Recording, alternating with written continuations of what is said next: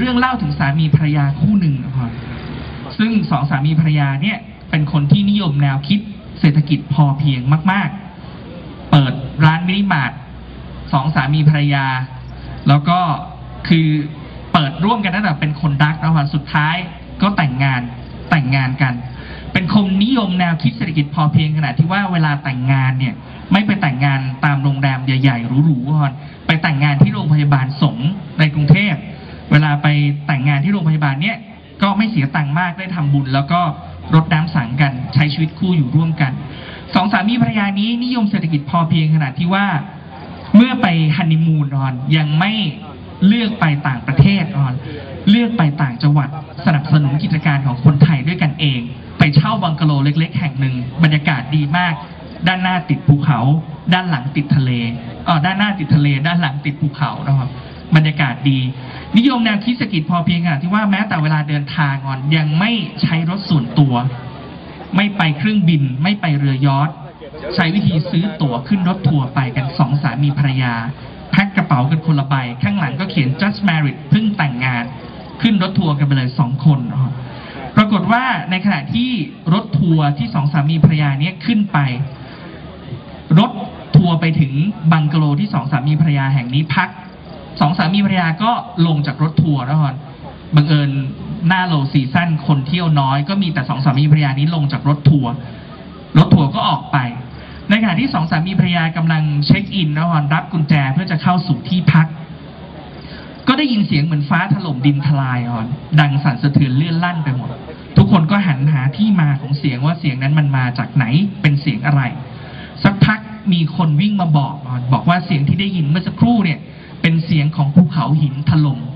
ถล่มทับรถทัวร์ที่สองสามีภรรยาเพิ่งลงมาเนี่ยคนบนรถทัวร์กว่า 20 คนตายเกลี้ยงทั้งคันเลย ไม่มีใครรอดสักคน ถ้าโยมเป็นหนึ่งในสองสามีภรรยานั้น ที่เพิ่งรอดลงมา โยมลองนึกดูว่าโยมจะบอกกับคนรักของตัวเองว่ายังไง โยมบางท่านอาจจะบอก โอ้ย โชคดีของเราแล้ว เราลงมาทัน ถ้าเราอยู่บนรถคันนั้นก็คงตายไปกับเขาแล้ว โยมบางท่านอาจจะบอกว่า โอ้ย คุณพระช่วย ซึ่งพอพูดอย่างนี้ปุ๊บอาตมาก็นึกถึงเรื่องหนึ่งแล้วฮอนเขาเล่าถึงยายซิมเฝ้าร้านโชว์หวยขายอยู่เนี่ย ปรากฏว่ามีป้าคนหนึ่งแกเดินมาซื้อของแล้วมาตกท่ออยู่หน้า ร้านโชว์หวยของยายซิมพอตกท่อปุ๊บตามภาษา คนแก่สมัยก่อนนอนพอตกท่อปุ๊บก็ตะโกนทันที คุณพระช่วย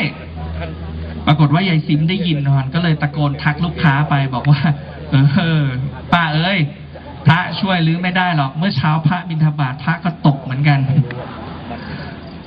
โยมอาจจะคิดอย่างนั้นนะฮอนคุณพระช่วย ลองมาดูเหตุการณ์จริงฮอนว่าสองสามีภรรยานี้เขาพูดต่อกันยังไงบ้าง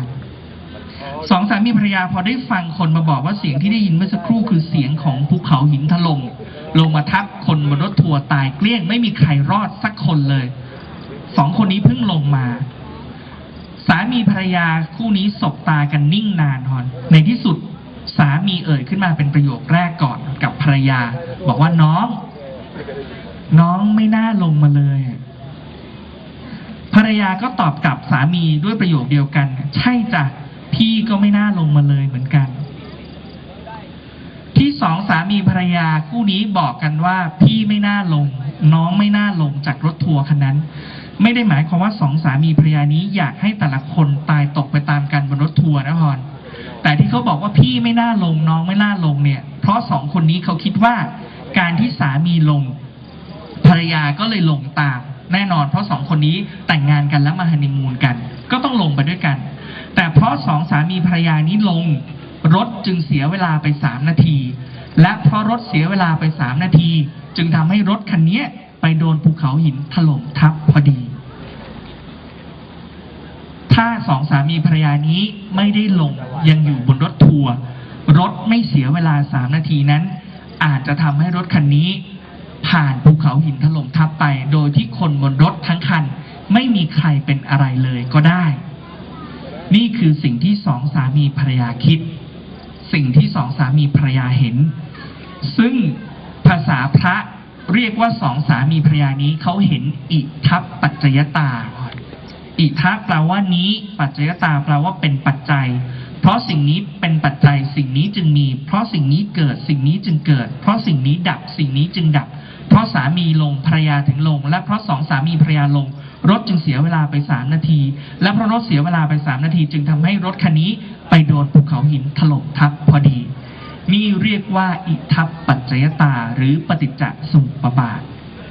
สิ่งที่อาศัยกันและกันเกิดขึ้นร่วมกันฝรั่งประทับใจแนวคิดเรื่องอิทัปปัจจยตานี้มากนะฮอนไปสร้างเป็นภาพยนตร์เรื่อง Butterfly Effect ปรากฏการณ์ผีเสื้อกระพือปีก คล้ายๆ เด็ดดอกไม้สะเทือนถึงดวงดาว คือเขาเชื่อว่าการที่มีผีเสื้อขยับปีกที่ซีกโลกฟากโน้น อาจจะทำให้เกิดพายุหมุนที่ซีกโลกฟากนี้ และฝนที่ตกทางโน้นก็เลยหนาวถึงคนทางนี้ลำปางก็เลยหนาวมาก จริงๆ ไม่รู้เกี่ยวกันหรือเปล่าแต่สิ่งสำคัญตามหลักอิทธิปฏิยตาก็คือว่า สิ่งที่เราทำฮอนไม่ว่าดีหรือชั่ว มากหรือน้อย ส่งผลต่อตัวเราเองและคนอื่นเสมอ